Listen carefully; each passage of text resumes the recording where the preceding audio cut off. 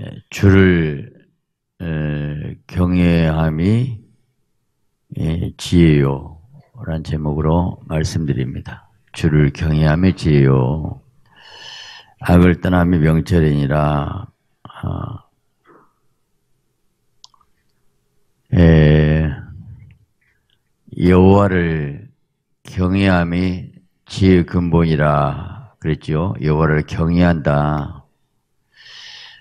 경외란 단어가 하나님을 무서워한다는 겁니다.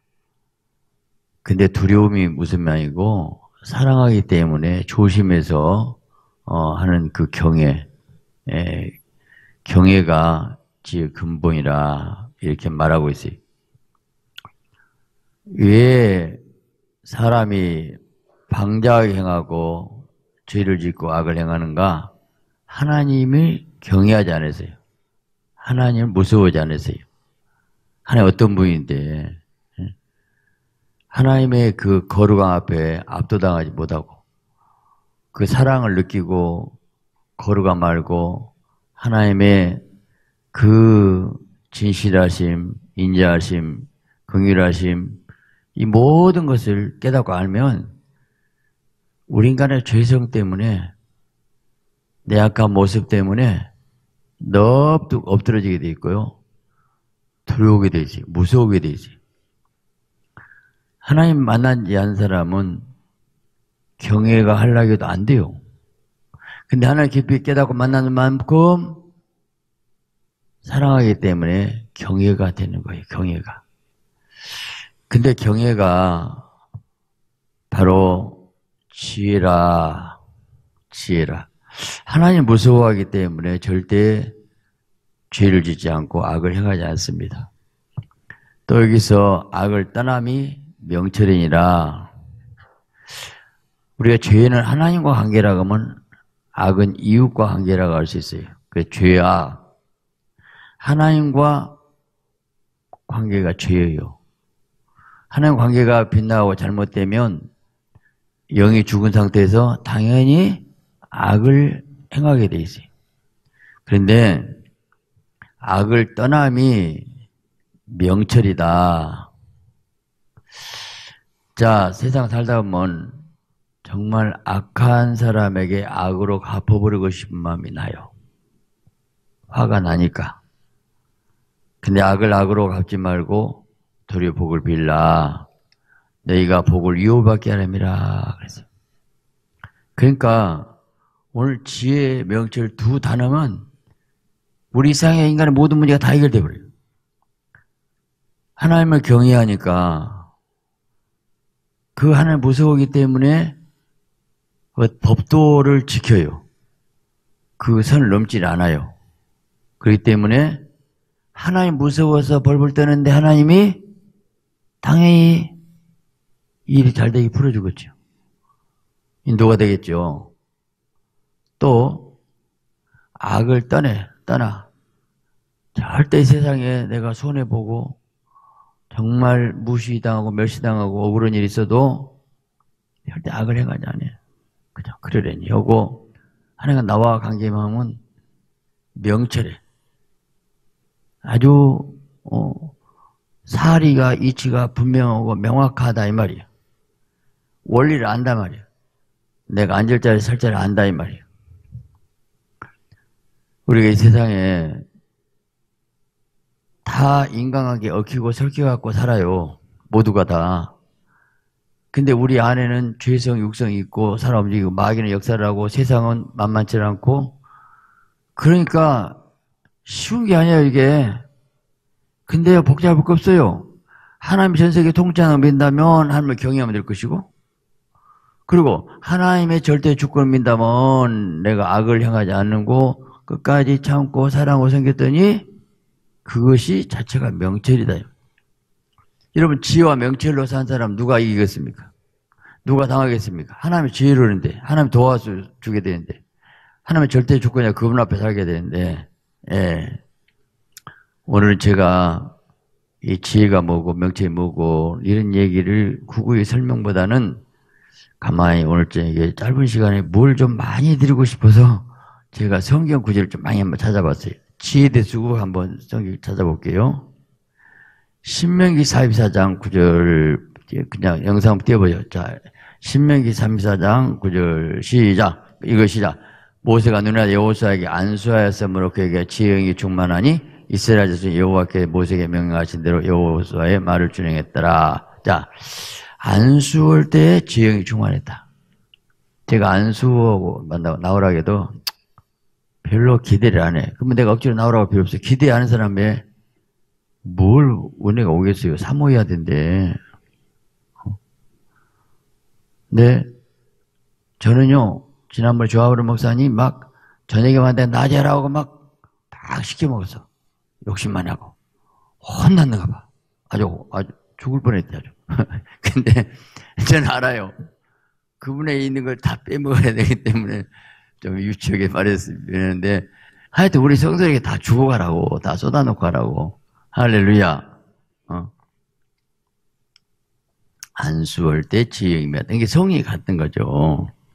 자, 왕상 3장 28절 해봐요.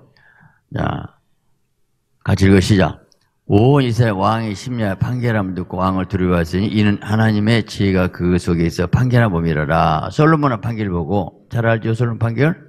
어, 칼을 가져라. 얘를 나눠라.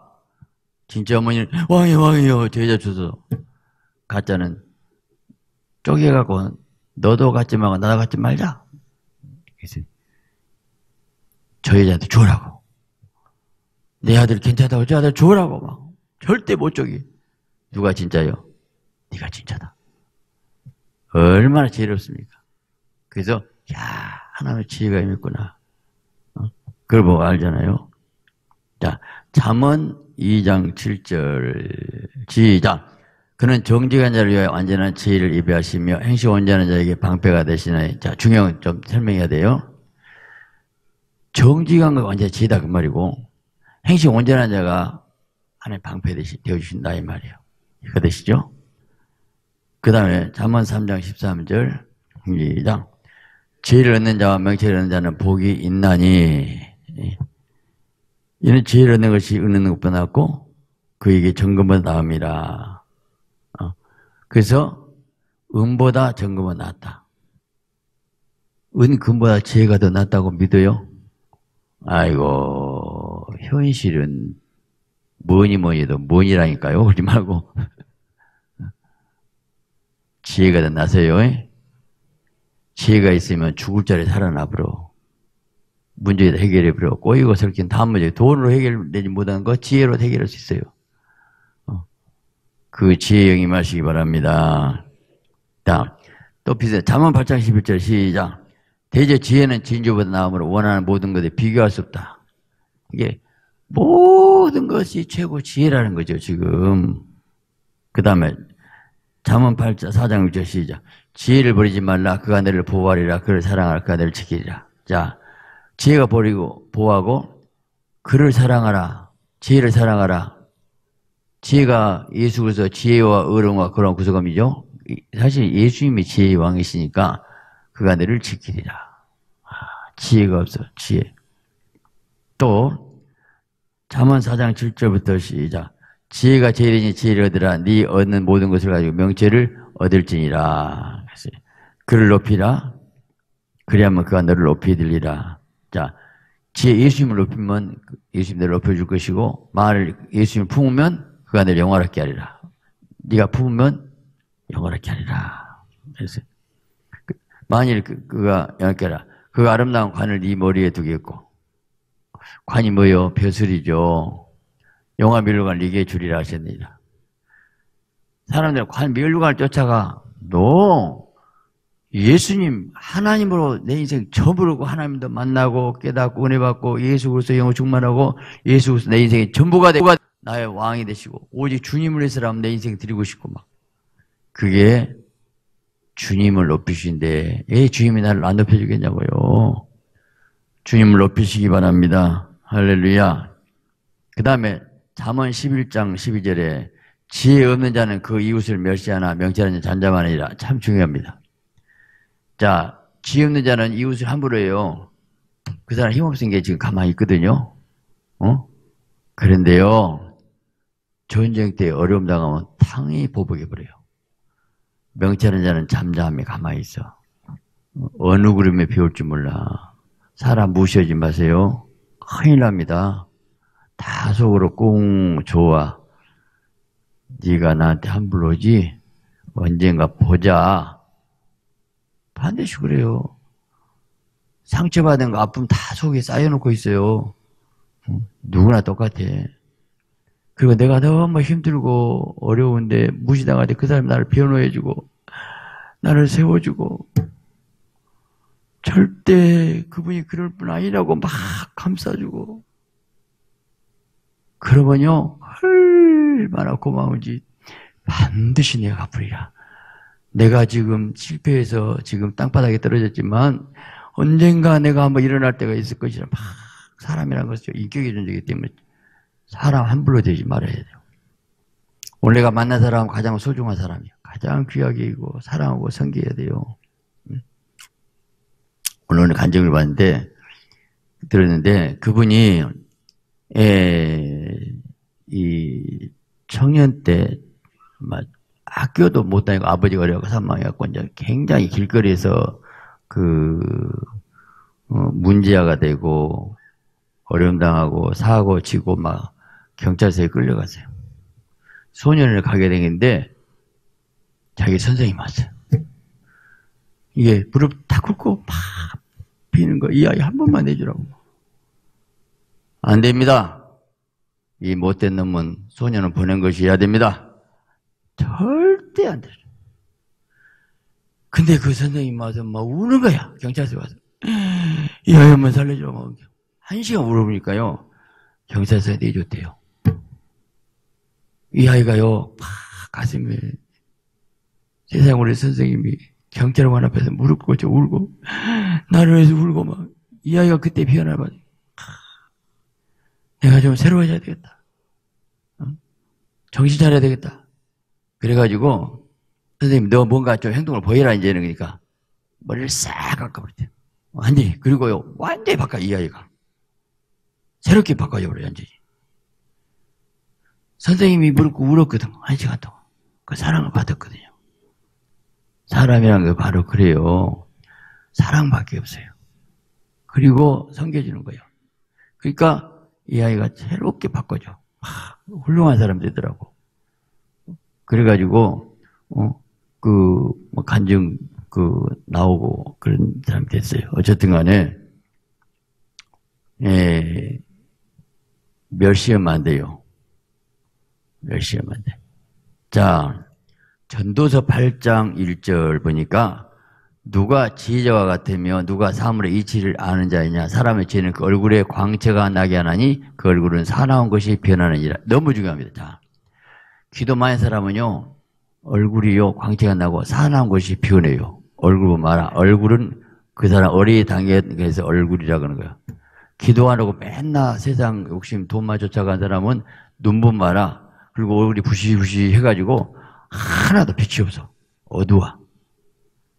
근데요, 사나운 것이 변해. 사나운 기운이 빠져나가. 사나운 기운이 빠져나간 거 이해가 되죠? 기도 많이 하면요, 얼굴이 사나웠고 싸나운 것이 있어요. 그것이 다 빠져나갔고, 천진난만 어이 같아. 순진하고, 얼굴 피부 색깔 보면 말아요. 그러니까 해서 사나운 기운이 빠져나가. 왜 그러냐면, 성령이 임하게 되니까 토하고 고백하고 내 마음이 깨끗하고 욕심이 없기 때문에. 얼굴 보면 알아요. 벌써 그 사람이 욕심이 있고 세소가 됐는가.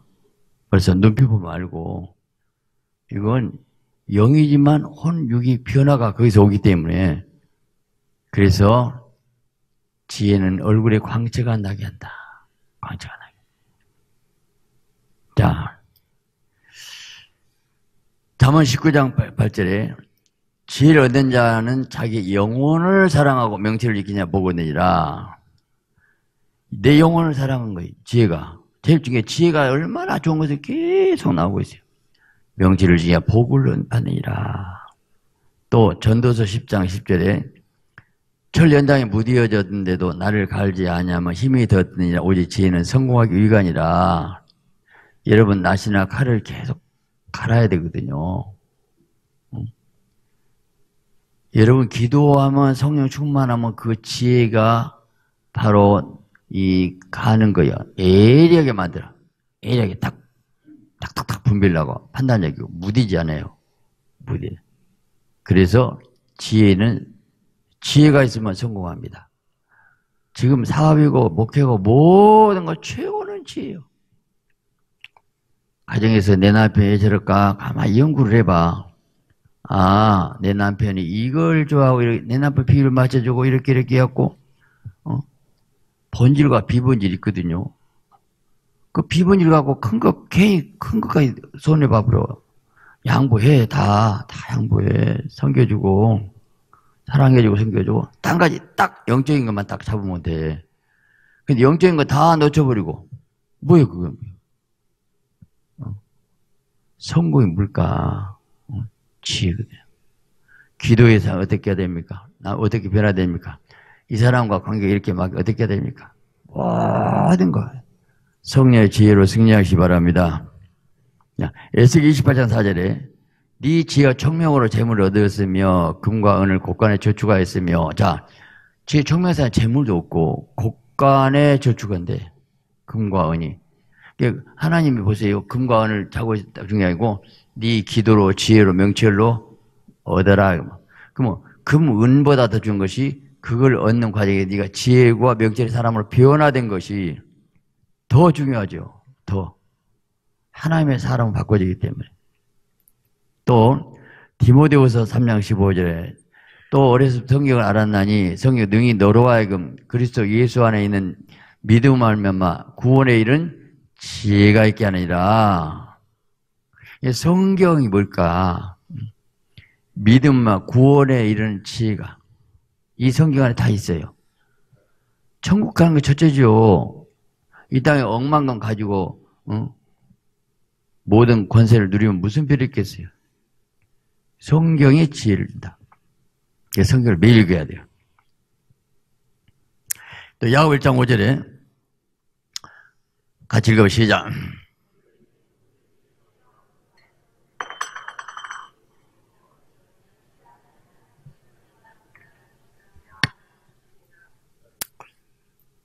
자, 지혜는 언제 준가? 뭐, 후회 주시고 꾸준히 하나님께 구하라. 그러면 주시리라. 여러분, 성령 충만하면 지혜가 오거든요. 말씀 깨달아지고.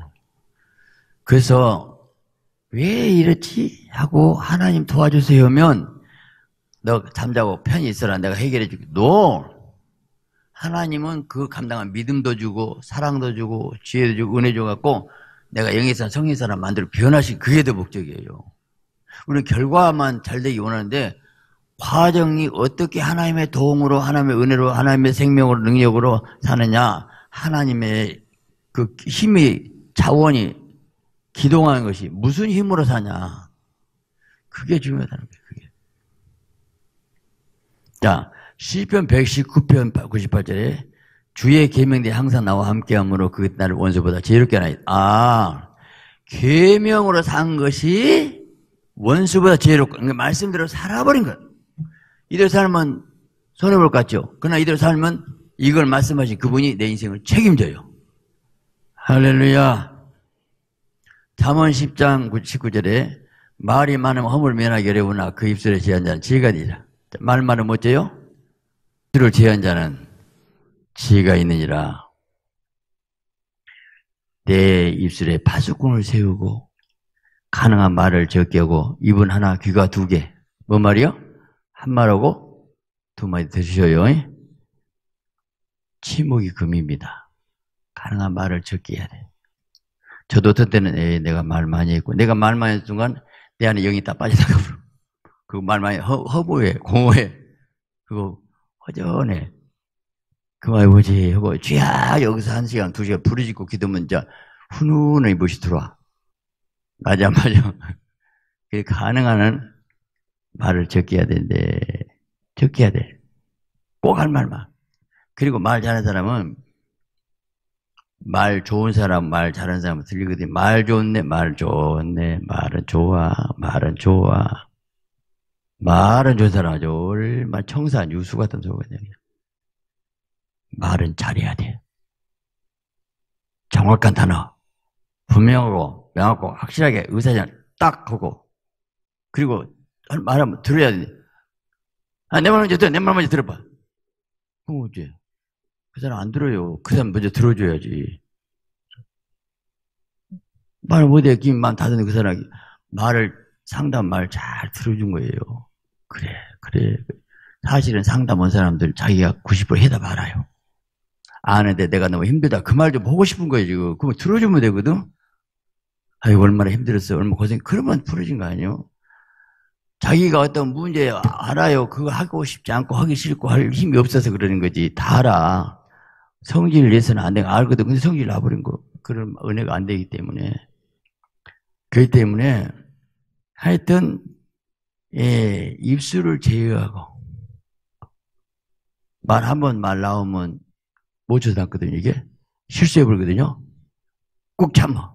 말 참아갖고 후회한 사람 있어? 아이고, 그때 괜히 말해갖고 배려불구나. 얼마나 말 잘못해갖고 망쳐버려. 입이 싸. 입이 무거워야 되는데. 꼭 필요한 말만. 그래서 그 사실망정 유의관과 덕이 되는가. 이게 그 사람의 기쁨을 주는가 그걸 따져야 되거든요.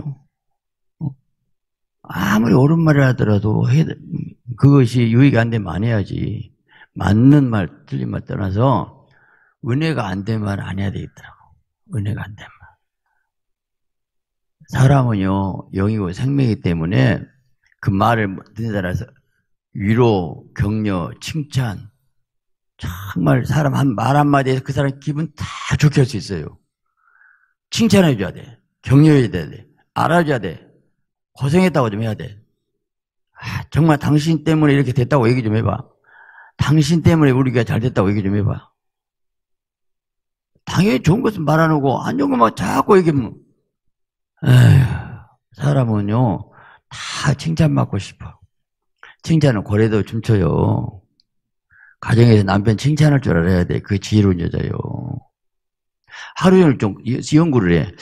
어떤 말해서 오늘 기분 좋게 할까 하고 퇴근할 때 오기 막 아바라 기억 공부 한마디 따져버려갖고 그냥 막 어쩌고저쩌고저쩌 질려갖고 도망가면 퇴근기에 딴 데 가버려 지금 그러면 아멘 입술을 지은 자는 지혜가 있느니라 지혜가 있느니라 자 욥기 13장 5절 너희가 참으로 잠잠하면 그것이 너희의 제일 것이라 잠잠하면 여러분요, 가만히 지목 있으면요, 그 사람이 굉장히 무기가 있습니다. 뭔가 생각하고 있는가. 근데 입이 금방 가볍고 빠빠빠빠 하면, 천박스러워. 무게가 있어야 돼. 자, 잠언 13장 20절, 시작. 지른 자가 동행하면 지혜를 얻고 미련한 자가 사귀면 해를 받느니라. 여러분요, 지혜는 동행하세요. 여러분 믿음 나보다 더 좋은 사람 만나고 대화를 해요. 믿음 떨어지고 시험 든 사람하고 통하면 반드시 시험 들죠. 맞아, 안 맞아? 어. 절대로 누구고 사냐에 따라서 그 그대로 영향, 영이 흘러가, 영이. 제가 말씀이 영이 흘러가게 하시고 생명, 똑같은 말. 말이나 영의, 영, 생명 흘러가게 흘러, 흘러. 영이, 영이, 영이 흘러가요. 물처럼 가요, 지금. 이게 영을 살려줘야지, 생수를 줘야지. 근데 흙탕물 주고 그러면 쓰겠어. 독초 먹어버리면. 자, 고린서 3장 18절에 아무도 시작. 아무 사실 속이지 마라. 너희 중에 누구 이상의 지혜를 생각하거든 어리석은 자가 되라. 그래야 지혜로운 자가 되라. 이야. 내가 지혜 생각하면 아직 뭘 거예요. 주여, 나는 미련하고 어리석은 자입니다. 하야 일을 앉아주고 자기가 근신하고 조용하면서 생각, 내가 부족을 알면 자기가 건방지지 않고 까불지 않고 나서지 않고 서대지 않고 좀 그 신중해요. 근데 뭐안 한다고 까불고 있다가 세상이 넘어지죠. 그러니까 어리석은 자고 생각하면 지혜가 거기 있어요. 이거 말을 가 들어. 가만히 있어. 어? 여러분요, 모든 팔방미인 사람 있죠? 뭐, 이쪽 말하면 거기서 말하고. 하여튼, 정치, 경제, 사회, 문화, 교육, 종교, 다, 꼭 나서, 다 얘기를 해. 근데 깊이는 없어. 잘 보셔야 돼요. 전문가는 안 돼. 절대 안 돼. 하나만 똑 떨어져 알거든. 목사가 성경만 딱 떨어져도 되거든요. 근데 요거 조금 많이 한다고 막, 그, 그 신문에 들었던 뭐 잡지 얘기 많이 쓰리가 얘기하고 계속 얘기를 하는데 생명이 없어요. 능력이 없고. 깊이가 없어. 절대 착각하고 오는 거야. 지혜 없는 거예요. 지혜가 뭐. 자, 전도 7장 4절 시작. 제자만 초상집에 있을 때 우매자만 혼인집에 되니라. 야 초상집에 밥 먹은 것이 기분 좋아 안 좋아? 아, 초상집에 뭐 밥 먹고 싶겠어? 울고 난리가 난데. 근데 거기에 마음에 지혜가 있대. 우매자만 뭐 혼인집이 있대. 그만 뭡니까? 왜 초상집에 내가 지을까? 너도 죽을 날이 있다. 알아요? 너 죽을 날 생각하고 살아. 인생은 저렇게 죽는 거야.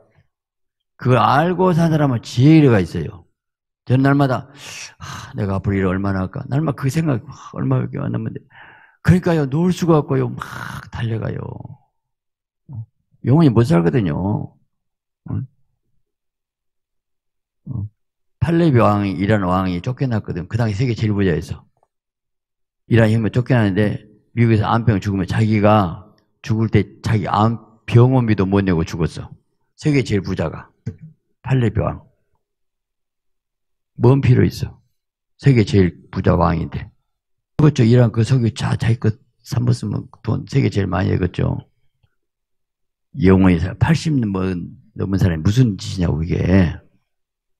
적당하게 지혜는요, 남을 돕고, 그 사람 살려주고, 그 사람 기쁨 주고, 생명 주고, 위로해 주고, 내가 그저 이 땅에 어떻게 선을 해가고, 우는 자의 그 눈물 닦아주고, 고통당한 자 위로를 해주고, 그 가운데서 기쁨을 얻어야 돼. 내가 도와줘도 그 사람의 살맛이 나서 얼굴에 기쁨을, 그 모습 보고 내가 행복해. 그러면 인생 바로 알고 있는 거예요. 하나님 그걸 원하거든요. 그거네.